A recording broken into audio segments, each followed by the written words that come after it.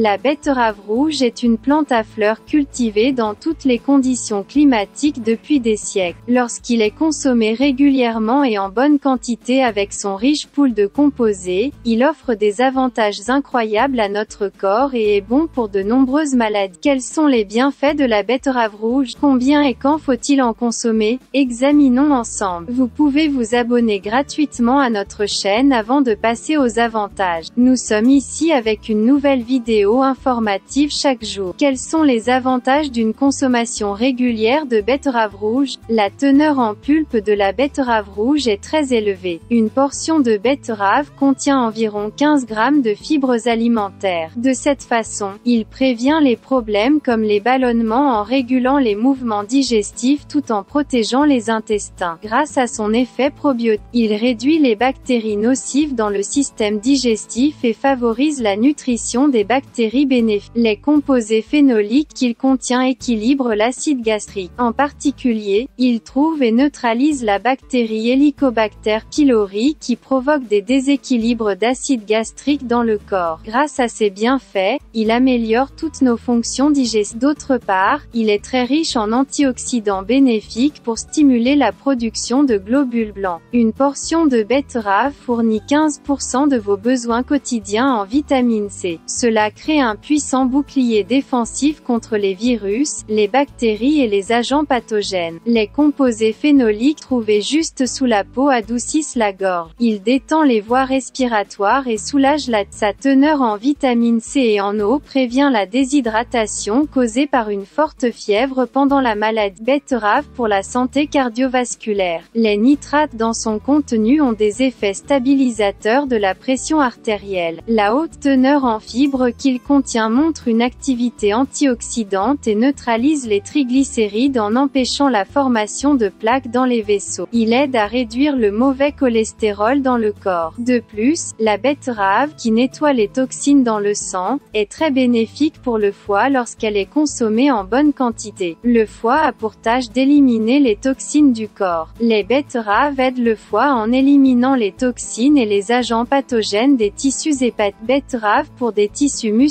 et osseux plus sains. La betterave, qui contient beaucoup de calcium, de magnésium, de phosphore, de zinc et de potassium, renforce vos os et prévient l'ostéoporose. Il réduit également l'inflammation chronique et il traite les blessures osseuses et musculaires dues à l'impact, car il contient des composés bénéfiques qui agissent pour la protection des tissus osseux et articulaires. Une portion de betterave râpée contient 60 mg de calcium. Dans le même temps, la betterave contient des huiles précieuses, des vitamines B1, B2 et B6, ainsi que du cuivre, de l'iode, du potassium et du magnésium. Ceci est très important pour le traitement de la maladie de l'anémie. Il réduit la perte de cheveux car il augmente l'absorption du fer dans le corps. D'autre part, la betterave aide à régénérer la peau. En augmentant la qualité de la circulation sanguine, il facilite la régénération des cellules de la peau beaucoup plus rapidement. Alors, y a-t-il un mal à consommer de la betterave Quand et combien faut-il consommer? Qui devrait être très prudent en consommant? Bien que ce légume, qui recueille tous les composants bénéfiques du sol, soit bénéfique, il peut créer des situations négatives pour certaines personnes. Tout d'abord, la betterave, qui est très bénéfique pour les activités digestives et gastriques, est consommée plus que nécessaire et en peu de temps, elle occupe les activités du système digestif plus que nécessaire et peut provoquer une sensation d'inconfort au niveau de l'estomac. Cet effet secondaire des betteraves peut être observé surtout lorsqu'elles sont consommées. Les personnes ayant des problèmes d'estomac devraient consommer des betteraves en les cuisinant. D'autre part, la betterave et d'autres composés puissants sont utilisés en médecine aujourd'hui. Par conséquent, ils peuvent interagir avec certains médicaments. Consultez votre médecin avant de consommer de la betterave, surtout s'il y a des médicaments que vous devez utiliser. Alors, quelle quantité de betterave faut-il consommer? Les experts recommandent de consommer une moitié ou une fois par jour de betterave 2 à 3 jours par semaine, surtout en hiver. Lorsque vous utilisez de la betterave en l'ajoutant à des salades ou à des repas, votre niveau de santé augmentera à long terme. À la lumière de ces informations, vous pouvez ajouter la betterave rouge à votre alimentation et bénéficier de ses bienfaits long terme. Si vous aimez notre vidéo, n'oubliez pas de liker et de vous abonner à notre chaîne si vous n'êtes pas encore abonné. Portez-vous bien, informez-vous.